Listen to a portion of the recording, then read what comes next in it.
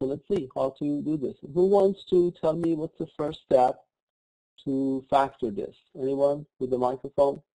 Basically what you do is you start off by taking the base out of both the sides and putting it basically into one parenthesis.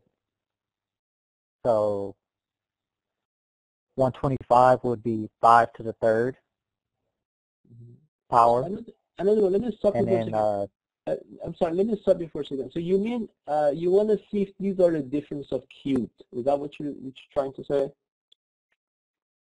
yes, Okay. So you want to you want to break them down. right, if if if you can find, then you uh, wanna, yeah, uh, if you want to, if you can find these are the difference of cube, then we can use a formula for difference of cube. And go ahead. And you said you you, Yeah. you were convinced that these are difference of cube. So tell me what would be the first term? So The first five. term would be 5, yeah. And then the second would be 3.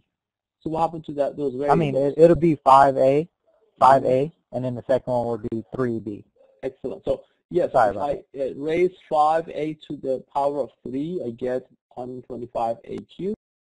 If I raise 3 to the power of 3, I get 1 27b, uh, b, then we raise to the power of 3 will be b cubed. So we, uh, we all convinced here that this is the difference of cubes. So I want to see if anybody remembers how to factor difference of cubes. This is a formula you have to memorize. So basically, if you don't know this, you cannot uh, move ahead with this one.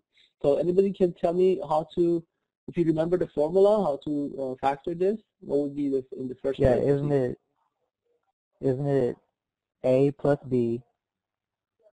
Why did you get plus? If it's minus, it's always minus. The Oh, yeah. First sign, Okay, yeah. Let me put both of them side by And side to kind of uh, remind you how to do both. If it was sum of cubes, the first uh, parenthesis would be a plus b. If it's difference of cube, would be a minus b. Okay. So what would be the second parenthesis? It'll be A squared Mm-hmm. Middle term Uh, would be what? plus AB. Okay, let's not worry about the sign for a moment. Just tell me what would be a second Okay, term. then, and it would be AB.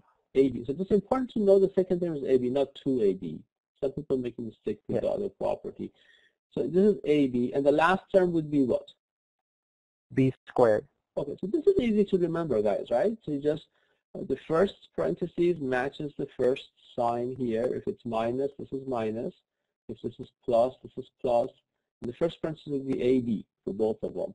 And the second parenthesis would get A squared, as you see here, matches A. This would be, this would be A squared. The last term would be B squared. And the middle term always would be AB. So if you remember up to this point, the rest is pretty simple. If this is minus, just remember all the signs are plus. Okay, and if this is plus, the signs alter between plus and minus. So be plus, minus, plus. So you just have to memorize this formula. And then in this case, now this is a difference of cubes. So I'm going to go ahead and write down the same format. Looks like in the first two terms, we're going to copy AB. So your A is 5A here. Your first term is 5A. Your second term is 3B. Okay, and some, I want somebody else with the microphone tell me if that's the case, what goes into the second parenthesis? What goes here? Anybody? 25a squared. Okay, let's put it in the same formula. I'm going to write it 5a squared. And you're absolutely right. That becomes 25a squared. So let's put 5a squared to just show that you take the first term and square. So what would be the second term, the middle term? 15, maybe. Do multiply. Or 3 write down what times it is. 5, It 3, would be 5a times 3b, 3b, right? a yeah. times b. We're going to multiply in a moment, but that's what it is, right? okay. And the last term would be, you take 3b and square right? Does that make sense?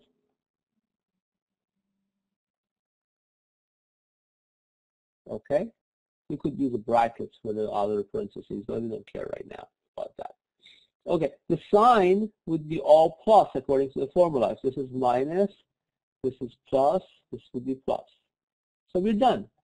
That's how you factor this. 5a, we have a squared plus 15ab plus 9b squared, and this is how you factor difference of cubed.